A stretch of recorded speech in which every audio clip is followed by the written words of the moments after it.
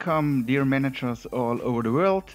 My name is Torcanmon and I welcome you to my channel Top FM Football Manager Tactics. Um, today I want to show you a little uh, thing about the special skills, um, therefore in which position it's the best special skill um, used. First, we are starting with the defense in the central of our pitch.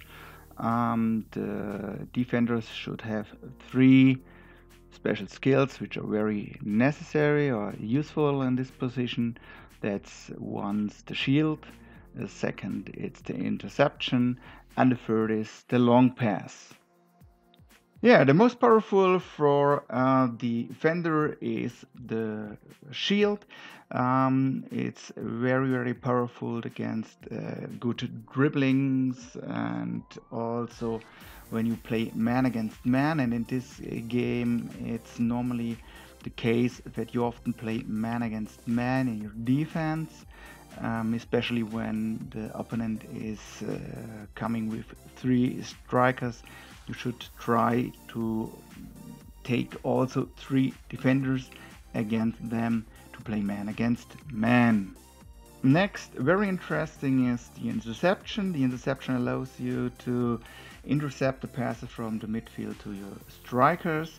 Um, when we take the third and we have the long pass also for the defender, um, it's very interesting because with long passes um, you have the chance to create uh, fast, very, very, very um, good possibilities for your strikers because you pass the midfield very fast and mostly the opponent can't sort his um, his players for the defense. And so you can create some chances. Normally you, you can't create when the when you have when, when you are playing with uh, short passes because short passes means it's uh, slow the, the, the, match is going slow from your side it's more controlled and something like this. Yeah we come now to the defenders on the left side or the right side. Um, there I think it's very important to have the interception because sometimes when uh, opponent uh, changes his formation in the game to, for example, a free striker game, um, you can make the the pitch close with your defenders from the outside. And so it's really interesting when we have this possibility to intercept the passes um, that's first. Uh, second um, it's very very very cool when we have the speed along the sides um, so you can use defender also for attacking on the sides and in the, the relation with the with the banana flanks. It's very very cool because these kind of flanks offers often many good uh, possibilities to score especially when your strikers have good heading abilities also useful in this position is the shield, the short pass and also the long pass. Next we take a look at the DMC. The DMC is very interesting also the interception because he's playing in front of the defense and then he should open the game. Open the game that means he should be able to make sure passes short also as long. And so these are my three favorites for this position. When you get a player with these skills it's very very successfully.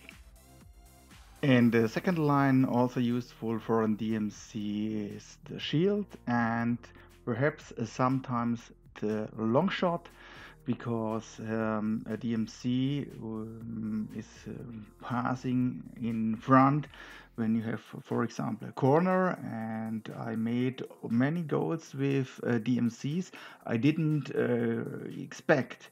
Um, but when they have this one, it's okay. It's uh, you can take it. We continue with the midfielders in the center of the, the pitch. Um, there is also the interception very useful and also the shield when I want to play with a defender more defensively. Um, it's also possible to take him with a long pass. Um, that's uh, the reason when I gave him another special order. Um, that's also possible, but I will show you how it works in another in another episode. And also for a midfielder in the center, very interesting for his attacking skills is short pass, dribbling, or the long shot. Pretty cool is it when your MCs have a mixture of all of these skills uh, that allows you to be very flexible in the midfield and also to dominate this uh, sector.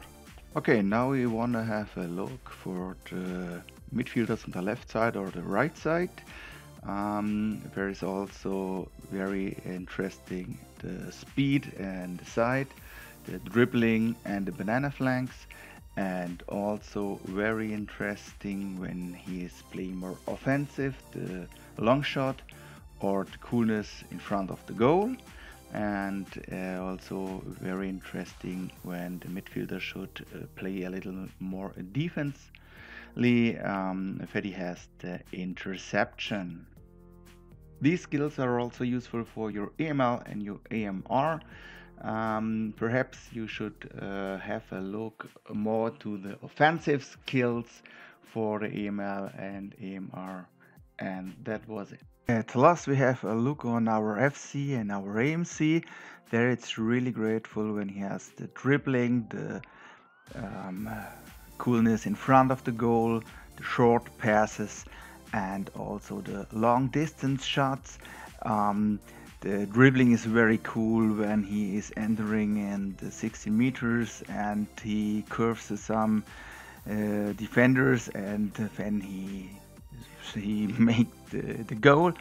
And also like long shots when you have a player with a good long shot then he nailed the ball and the goal from 25 meters for example. And now a little surprise for you. Mostly when you are playing with three strikers it's very interesting. Um, that's the speed on the side. Because when you are playing with three strikers and you have a striker with this skill on the outside left or right. He uses this skill very often and creates very often chances and also chances for your striker in the middle. When you have a striker in the middle, which is very, very good with the heading, you make many scores. Now we have to talk about two skills we didn't show in the on the pitch this moment. It's one is the fighter and another is the free kick. The fighter is useful for all players, but it's only used when you are behind. That means the opponent is leading in the game, for example 1-0, and you have to look to equalize it. And the other thing is the free kick. The free kick is not a special symbol in the game. Um, you can normally see when he makes a free kick that um, you see the symbol of a short pass or for example um, long shot. The skills don't work for every player in the same way.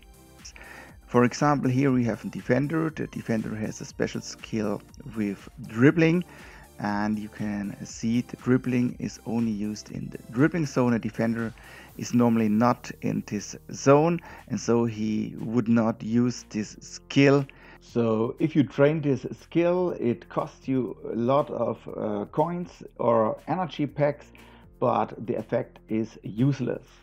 As a result, you have some different zones on the pitch.